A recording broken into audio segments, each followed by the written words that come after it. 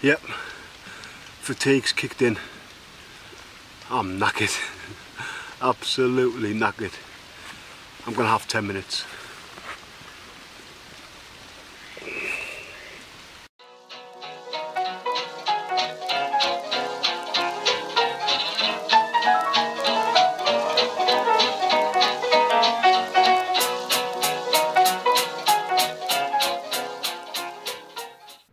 Will explain all this contraption of a setup very soon.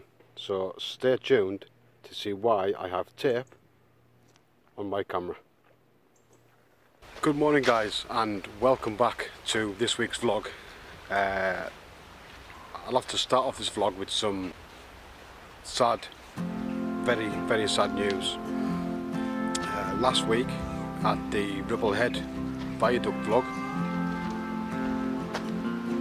I I lost my lens. I lost my very very first lens, my 18 to 55 kit lens. So can we all take a moment please just to pay our respects to the 18 to 55 Canon lens.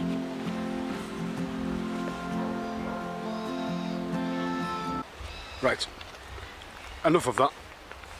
This week we are in, hang on, this week we are in Keswick at Derwent Water. Um, I want to try some long exposures. It's pretty calm and as you've seen in my previous segment where I had the sellotape on the lens not only did I lose my 18 to 55 I also lost my filter holder bracket or whatever you call it so uh, yeah, it was uh, it was expensive day that one. Um, it was an expensive vlog, but a fantastic vlog nevertheless. So what I'm doing right now, um, I'm just having a little a little warm up if you like. Just trying to find the right settings for the exposure to get the water all all calm and crisp. Um, just took one or two of these these logs sticking out the water.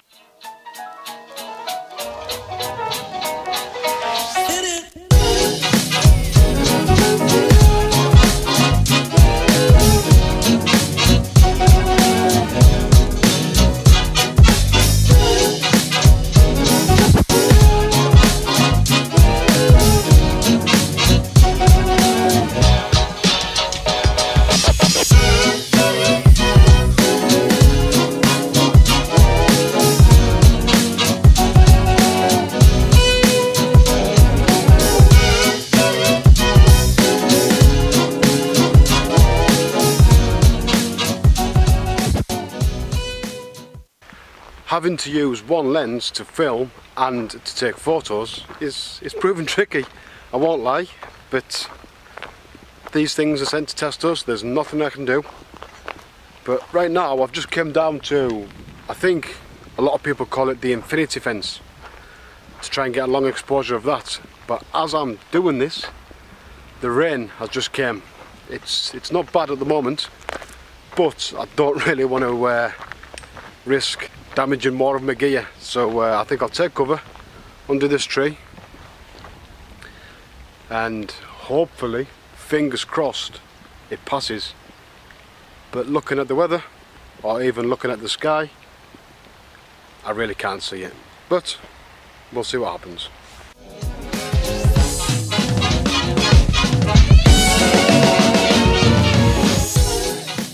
Right then, I've made a decision I'm going to head into Keswick, get a bite to eat, get some breakfast and hopefully that'll pass maybe half hour to an hour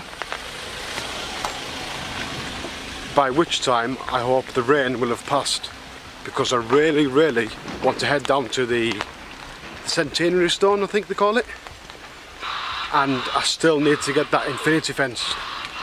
So uh, head into Keswick get a bite to eat and we'll take it from there.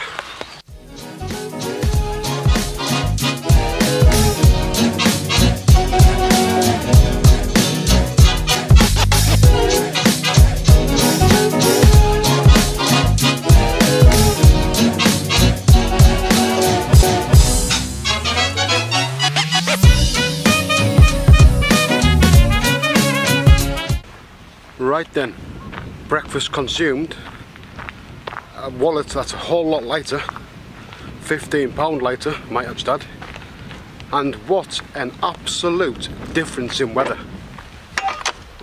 The sun, the sun's out. What an absolute difference. So I'm back down at the infinity fence, I think we called it last time. So I'm gonna try again to get this this composition. I really cannot believe the difference in the weather. It's absolutely unbelievable. But like I say, we're back down to it. So let's go.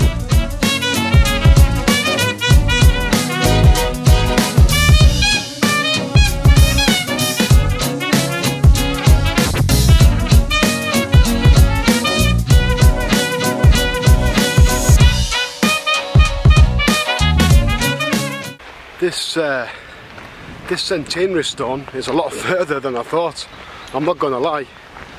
What I failed to mention earlier was I've literally just came off a 12 hour night shift, finished at 6 in the morning and got the 6.30 bus through to Keswick that got me here at 8 o'clock. So, well, just sort out this exposure.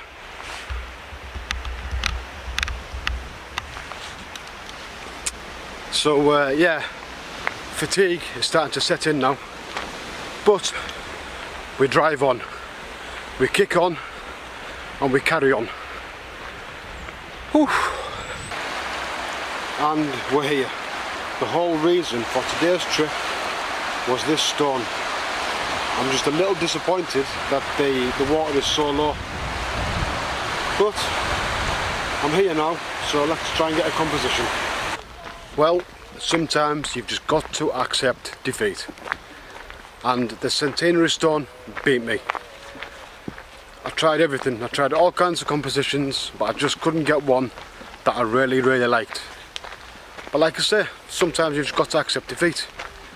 If the water had been further inshore, I would, have been a lot happier about it, so...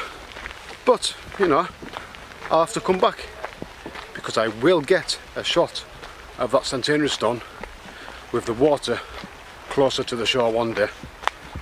Centenary stone, I will be back. So on my way around to the centenary stones, I've came across this lone tree right in front of me. Um, if you check out my Instagram, I'll put the link in down below, you'll see that I am quite partial to, to lone trees. So let's set up the composition and let's see what we can get.